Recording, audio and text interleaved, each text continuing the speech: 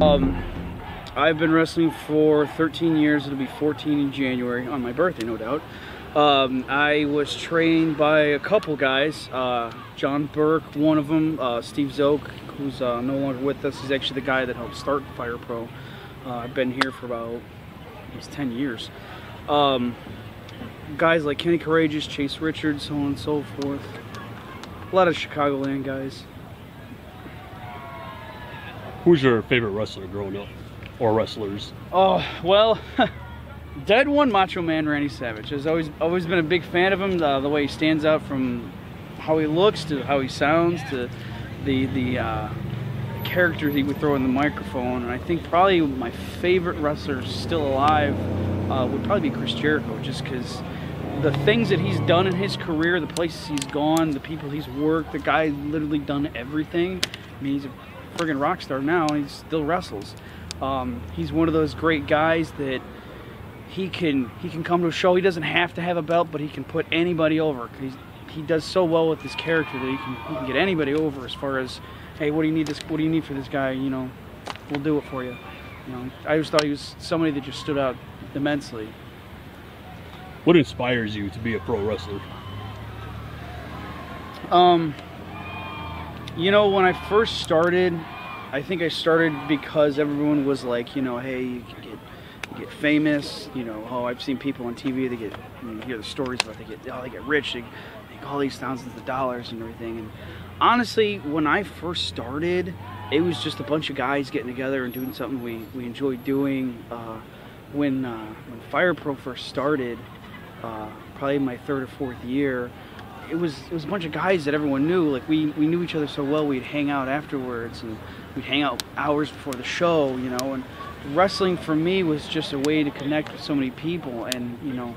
I love wrestling. You know, we were all little kids, you know, growing up watching things like Power Rangers, and everyone's like, "Oh, I want to do that." And, you know, I was a huge fan of comic books. Oh, I want to be a superhero. And this is probably as close as it's gonna get, but it's just something I love doing.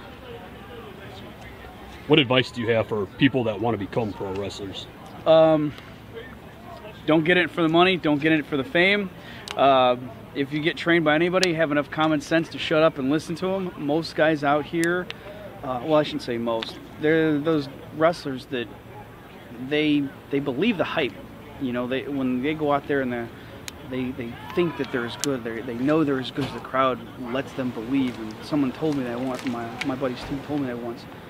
Don't you're not as good as the crowd believes you are. Go out there. Your job is entertain people. You know, have fun doing it. Have fun doing it. You know, that's what you're for. If you can't have fun wrestling, why are you doing it? Um, yeah, but I mean, other than that, you shut up and listen, pay attention, because the guys that are training you, they're training you for a reason. You know, they know what they're doing. Just listen to them. What kind of injuries have you suffered as a pro wrestler? I have been lucky enough to get by with bumps, sprains, bruises. Uh, I've actually been knocked out once in the ring. Uh, I've had the worst I think I've ever had was a dislocated elbow, and uh, that's back when I was still doing all the flippy stuff off the, the ropes. I learned after that that hospital bills, you're not going to make the kind of money you're going to make. You have to pay for hospital bills to do that. Other than that, broken nose. So I've been pretty lucky. Is there anything else that you would say about anything pro wrestling related that you'd like to get out?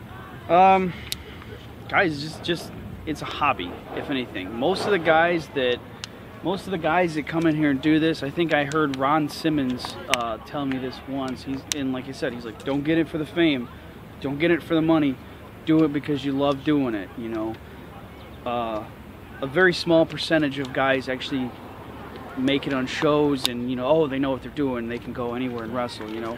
Even a smaller percentage of that actually make it on tv so if you're trying to get into this to be rich and famous you're getting into it for the wrong reason.